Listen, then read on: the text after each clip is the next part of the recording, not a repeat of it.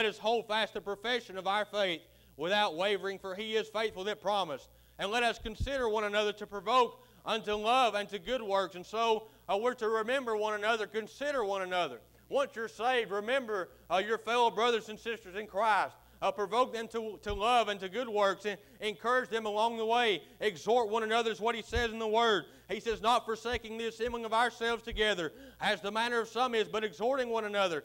And so much the more as you see the day approaching. Uh, go up to that brother and sister in Christ and exhort them and encourage them in the faith and say, it's all going to be worth it one day after a while. I know this life can get tough. Uh, this life can get hard. The devil, he tries uh, uh, to, to cause us to, to, uh, to fall and to stumble. The Bible uh, refers to him as being our adversary, the devil. Uh, he, he goeth about as a roaring lion, seeking whom he may devour. And our adversary, the devil, he will try to bring up our past. Amen. he will try to remind us of things that we once did. he will try to remind us of things we once said, of places that we once went. Amen. He'll try to remember us of how sinful our past was. But this man, this man named Jesus that I read to you about in, in verse number 12, it says, But this man, after he had offered one sacrifice uh, for sins forever, he sat down on the right hand of God. Uh, this morning, when somebody sits down, uh, that signifies completion. Amen. When Jesus sat down on the right hand of God, he's saying, I've done the work. I've done exactly what God required of me, and I'm going to sit down on the right hand of God, and I'll sit here until it's, it's time to bring my children home. Amen. Uh, there's only one time uh, that you read about the Lord Jesus Christ standing up uh, next to the throne of God, and that's when Stephen was stoned, and Stephen looked steadfastly into heaven, and he saw the Son of Man uh, standing at the right hand of God, I believe Stephen was saying, oh, Well done, thou good and faithful servant. Amen. Uh, you've been faithful to me. And I know uh, that it's been hard in this life. Uh, the devil, he'll try to get us down, uh, he'll try to discourage us. Amen. Uh, but the Lord, this man named Jesus, he didn't just forgive us our sin, but praise God, he took away our sin. Amen. he chooses to remember our sins no more. he doesn't forget our sins, but he cast them into the depths of the sea. Amen. He completely and wholly does away with our sin uh, so that we can have peace with God. Amen.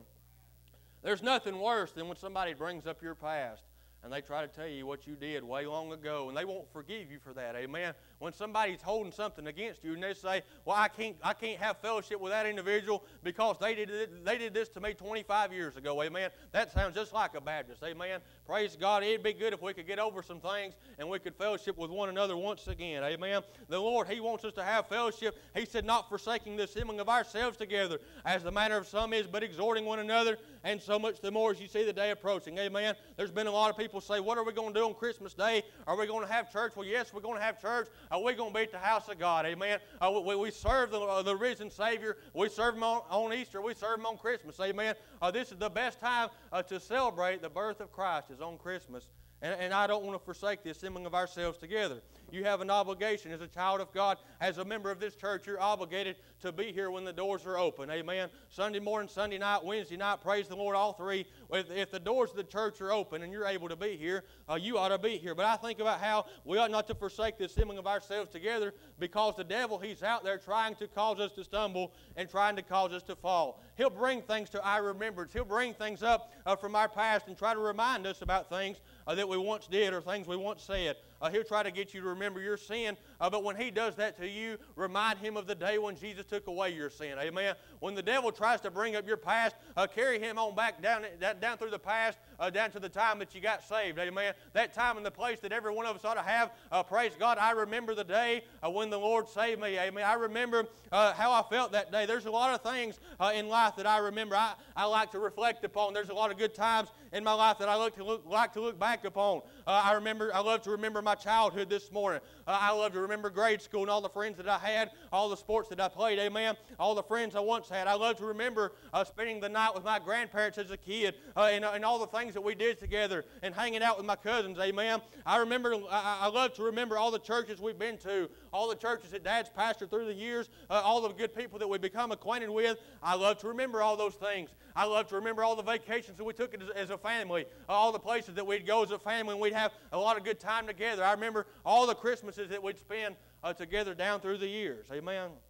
There's a lot of things that I remember, and there's a lot of things you remember this morning. If you look back upon, there's a lot of good things to remember, and there's a lot of bad things to remember today. The, the devil, he'll try to get you to remember all the bad things in your life, but praise the Lord, you remind him of all the good things in your life and how God has blessed you. I love to remember the life that uh, we had with, with my mama before she got dementia. Praise the Lord. Uh, she got dementia. She's in the nursing home now, but and, and she don't know who I am. She don't remember my name. She may not even rem- remember right now the day that she got saved. Uh, but praise God, even though we might forget something, God, He never forgets. Amen. We serve a God this morning that never forgets anything that ever does happen. Amen. The Lord, He records our name in the Lamb's Book of Life when we get saved. And I praise the Lord uh, for my mama. I love her so much, and I it, it, breaks my heart to see her get in the condition that she's in. And, and it's going to break my heart this coming week when we go and see her uh, at the nursing home the first time uh, we've ever had to carry her presents to the nursing home, and, and, and we bought her something for Christmas, but she, may, she may not even know what we got her, and she may forget that we even came. But praise the Lord that God, He doesn't forget, does He? God does not forget a child of God once they put their faith in the Lord Jesus Christ. I've remembered a lot of things in my life. There's a lot of dates that I like to remember. I remember uh, a lot of things in, in my past. The, the Lord, He's given me an ability to remember a lot of things. Amen. For example, I remember in kindergarten what I wore for picture day. I mean, I, I remember those things vividly in my mind. It was a, it was a, a T-shirt that I bought, and, and, I just thought the world of that bright orange T-shirt. The Lord, he, he, He's allowed me to remember some things. Remember when I got to middle school, uh, we we got locker combinations for the first time, and, and, and, they give you a locker to put all your books in. Not many students did it, but praise the Lord, I remember to this day what my locker combination was. It was 22, 30, 36. I could carry you right to the locker, and I could open that same locker today because the Lord, he, he, I, don't, I don't know why in the world I remember that. There's a lot of things I love to remember. There's a lot of things I'd love to forget. Amen. There's a lot of things in my head today. I'm like, why in the world am I thinking of that? And when I got to seventh grade, Isaac, he, he played football and he was a grade ahead of me. And, and, there was one day that I forgot my lock at the house and I had to use his locker. And so he told me his combination. And I can still tell you his combination to this day. It's 31, 34, 27. The Lord give me the ability to hold on to that knowledge. And I, I wish I could forget that. I, I know uh, this more. I've memorized my social security number. I've memorized uh, my driver's license number. I lost my wallet uh, two weeks ago, but praise the Lord, I still know my driver's license number. And so if I get pulled over, I can tell the cop, well, this is my driver's license number and he may not give me a ticket. Amen. Uh, the Lord has given me the ability to remember a lot of things. I remember my birthday. Praise the Lord for that. I remember my second birthday. Amen. The, the day that the Lord saved me. I remember, praise God, one day I do remember the day me and my wife got married. It was July 24th, I think. Ain't, ain't that right, honey? The Lord.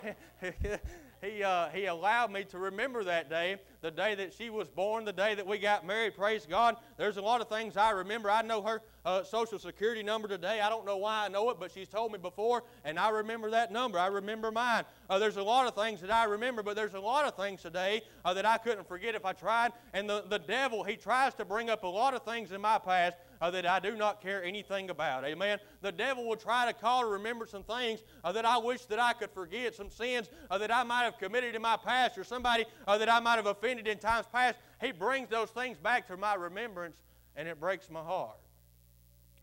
And I, I, I worry about a lot of things in my life. I worry about a lot of things in my past the devil he keeps bringing back to my remembrance.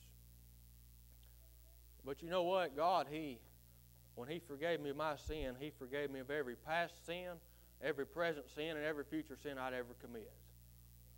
That's what kind of God I serve today. That doesn't mean that I have to quit asking for forgiveness of sin.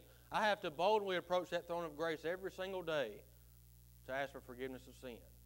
Every single day I've got to go and I say, Lord, I know I'm a, a terrible sinner. I know I've done this, I've done that. Sometimes you've got to get specific with your sin.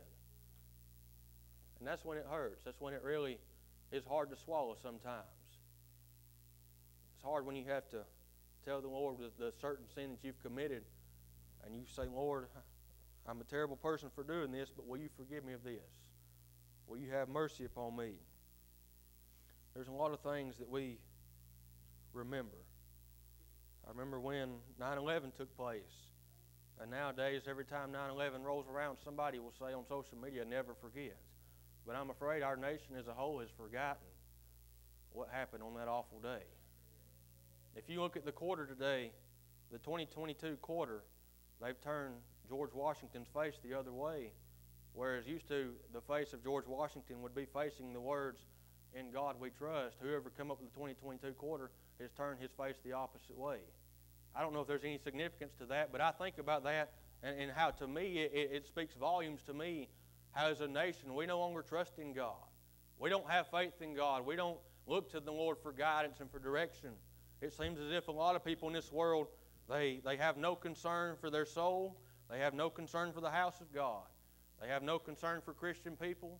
There's Christians today that, that are not very uh, warm Christians, if you'd have it. They're very lukewarm. Amen. And they have no desire to serve the Lord. They want the Lord to be there for them in the hard times, but they don't want to serve Him in the good times. They want to use Him as a spare tire. And our nation has, in a time when we should remember how much God has punished us in days gone by, we tend to forget those things. But God has, has given us an ability to remember today. And, and, and, you know, not only do we have the ability to remember, but God, He remembers as well. We ought to remember the Lord. Amen. The Bible says that God remembers us. God remembered Noah in Genesis chapter 8. And chapter 19 of the book of Genesis, the Bible says God remembered Abraham. In Genesis chapter 30, God remembered Rachel. The Bible says He hearkened unto her and He opened up her womb. And so He remembers individuals throughout the Word of God.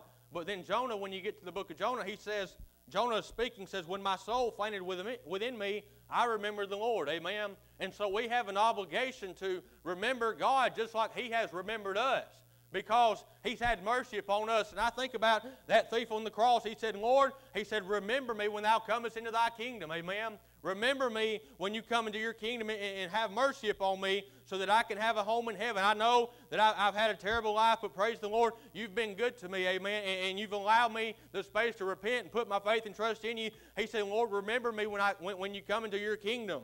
And, and we're told in, in the book of Ephesians, chapter number 2, the Apostle Paul tells us, he says, Wherefore, remember that you being in time past Gentiles in the flesh who are called uncircumcision, by that which is called the circumcision in the flesh made by hands, that at that time you were without Christ being aliens from the commonwealth of Israel and strangers uh, from the covenants of promise, having no hope and without God in the world. But he said, But now in Christ Jesus, you who sometimes were far off are made nigh by the blood of Christ. Amen. He's saying, Look back on your past and remember what God brought you from. Amen. Remember the place that He brought you out of, just like He told uh, the children of Israel. Remember at one time uh, you were in Egypt's bondage, you were bound up, uh, and you were slaves, but now I brought you into the promised land. Amen. Remember where God has brought you from and where He has brought you to. Amen.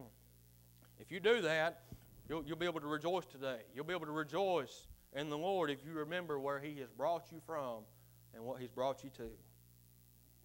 You may have went through a lot of things in life and you wonder why you've went, went through certain things, but God's got a plan. God's got a purpose. There's one particular day this morning that I'll never forget. The day I got saved. And uh, I don't know how many times I've told it since I've been here.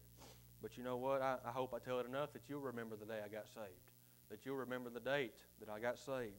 Many of you could quote it already. March 18, 2009, as a, as a 12 year old boy, 13 years ago, the Lord, He dealt with me about my sin. It's a day that I'll never forget it. I may, I may get in a condition one day where, where my brain can't remember some things, but I hope I never forget that day. But if I do, the Lord will remember me. Amen. He'll never forget me. If I ever forget it, the Lord won't forget it. I remember that, that night we went to church. Remember the clothes I had on? I had on a brown American Eagle t shirt and some jeans and some boots. I thought, you know, I, I was all right, and I didn't really go to church planning on getting saved that night. But I remember a lot of vivid details about that night. I remember going in church, sitting on the back row with several of the young people, and didn't have a concern in the world, and uh, went to church that night and, and sat there, and we had prayer meeting before revival. And Sister Ellen Digby stood up. Many of you knew her. And dear old saint of God, she was a, like a grandmother to me. She had come visit Eastside on Wednesday nights when we uh, went there, and uh, they, they didn't have Wednesday night service where they attended church, and so they would come and be with us every Wednesday night. Brother Eugene Digby and Sister Ellen, they become precious friends of our life. And um, Brother Eugene was actually preaching the night that I surrendered to preach, and she was testifying the night I got saved and, and what a blessing they were to my life. And, and not long after I'd been here, I was sitting at the in the pastor study one day and opened up the desk drawer, and there was a picture of them two. And, and, and I don't know if they had, if this church in one time had supported the Christ, the, the, the Christ in every crisis ministry that they had. But, but I, I think about that, that couple, and I remember vividly the, the, those individuals in my life, how they would walk in church every Wednesday night. And, and, she had such a contagious smile. If you ever saw her, you would just start grinning from ear to ear because she was that sweet of a lady.